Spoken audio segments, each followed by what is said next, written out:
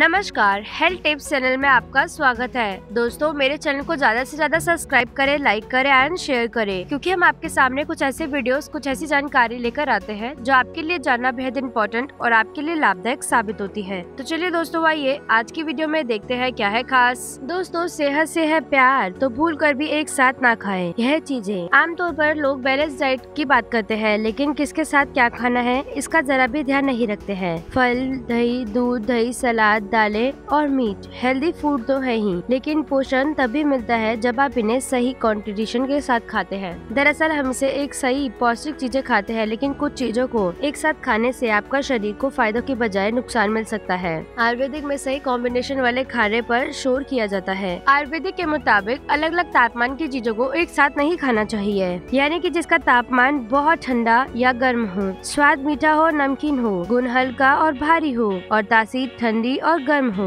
अलग अलग हो तो यह एक साथ यह चीज़ें नहीं लेनी चाहिए। यहाँ पर खाने पीने की कुछ ऐसी ही चीज़ों के बारे में हम आपको बता रहे हैं, जिन्हें एक साथ खाने की मनाही है सबसे पहले देखते हैं कि दही के साथ आपको क्या क्या नहीं खाना है। दही के साथ आपको आमतौर पर खट्टे फल नहीं खाने चाहिए। दरअसल, दही और फलों में अलग अलग एंजाइम्स होते हैं। इस कारण यह बच नहीं पाते हैं, इसलिए दोनों को साथ लेने की सलाह नहीं दी जाती है। दही की तासीर बहुत ठंडी होती है। ठंडी चीज़ों के साथ खट्टी चीज़ें नहीं लेनी चाहिए। मछली की तासीर काफ़ी गर्म होती है, इसीलिए उसे दही के साथ नहीं खाना चाहिए। आयुर्वेदिक के मुताबिक पराठे या तली भुनी चीज़ों के साथ दही नहीं खानी चाहिए, क्योंकि दही फैट के डाइजेशन में बहुत ज़्यादा फैट पैदा करता है। इससे आपका मोटापा बढ़ता है। दही के साथ खजूर और चिकन खाना हानिकारक होता है। चलिए दोस्तों, अब अगली चीज़ देखते हैं, दूध के साथ हमें क्या क्या नहीं खाना है। दूध एक एनिमल प्रोटीन है। उसके साथ तली भुनी चीज़ों को खाने से रिएक्शन हो सकता है। दूध के साथ नमकीन चीज़ों को नहीं खाना चाहिए। दूध वाली चाय के साथ कोई भी नमकीन चीज़ नहीं खानी चाहिए। नमक के मिलने से मिल्क प्रोटीन जम जाता है और उसके पोषण में कमी आ जाती है। दूध के साथ फल भी नहीं खाने चाहिए। दूध में फल मिलाकर खाने से दूध में मौजूद कैल्शियम फलों के इंजाइम को सोख लेता है। इससे शरीर को फलों का पोषण नहीं मिल पाता है, जिसके अलावा उड़द की दाल खाने के बाद दूध नहीं पीना चाहिए। हरी सब्ज़ियाँ और मूली खाने के बाद भी दूध नहीं पीना चाहिए। अंडा, मीट, पनीर खाने के बाद दूध पीने से बचना चाहिए। इसको एक साथ खाने से डाइजेशन में प्रॉब्लम होती है। चलिए अब अगली चीज़ देखते हैं कि अगली चीज़ क्या है।